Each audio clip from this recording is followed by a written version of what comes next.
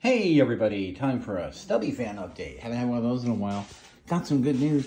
Gonna get the motor ordered tonight for this, and I don't have to change the mount at all, which is really cool.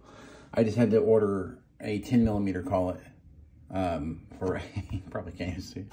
I just had to order a 10 millimeter collet here um, for the shaft, giggity, off the other motor. And that will solve that problem. So that'll be good to go. And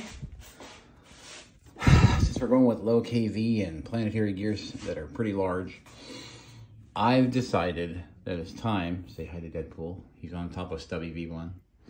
Um, I'm making this twice the size.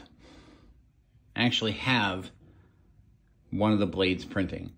And my system with removable hubs or the, or the removable blades off the hub, I pretty much decided I'm going to go ahead and double the size.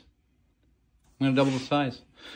And because the hub is designed to accept 22 or 11 blades, then uh, we can experiment with config different configurations. And that 60 horsepower motor that's running on 48 volts is going to be perfect for it. So we are still going to get this one running for this size group for sure. So don't worry about that. But I wanted to go ahead and start because that's what I when I do and I'm planning stuff is I've already got stuff in my head that I need to get on the machine and get it out of my head for the next project that sneaks its way into my brain.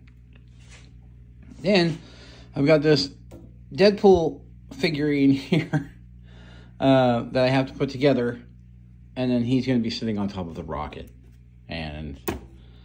that will be appropriate. Completely appropriate for him.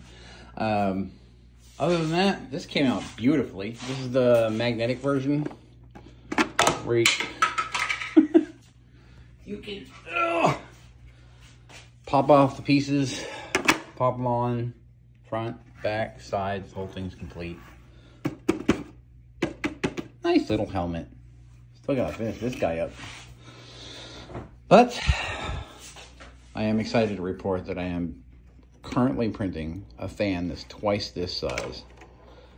And we're going to try it in 11 blade and 22 blade configuration with a few different motor types. And then we're going to go from there. So stick around because this is going to get interesting.